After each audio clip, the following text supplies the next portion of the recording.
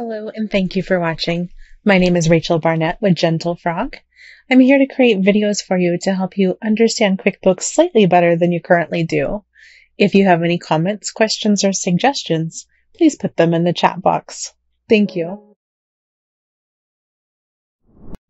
In this video, I'm going to show you how to run a profit and loss by month. The reason you might want to run a profit and loss by month is because you want to see your revenue month after month.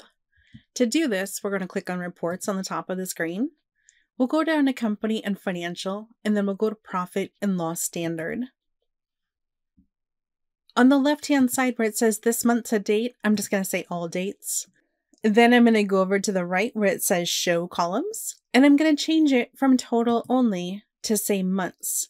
You can see from the drop down all the various ways that you can choose to display your data. So month, it automatically shows my data month over month. There isn't a whole lot of data in my sample file, but you get the idea.